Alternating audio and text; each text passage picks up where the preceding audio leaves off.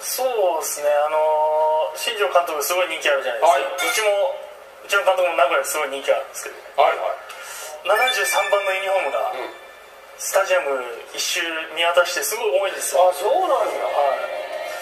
ただあの73番着てる人ちょっと熱い方が増えたっていう。あそりゃそうだ高橋選手は監督に感謝していることがあるんですよあそうなんね。はい、本当に毎日感謝してるんですけど、はい、その中 WBC 出て、はい。アメリカのところで、えー、とシャンパンファイトがあったんですけど、うん。うんそれに僕アメリカの法律で参加できなかったんです。未成年扱いあになってしまって年年齢的に。はい、でそれを知った監督がうん。僕が名古屋に帰ってきた時にうん。監督からシャンパンとケーキいただいてえ。そういうもう素晴らしい話がはい。君ええ子やで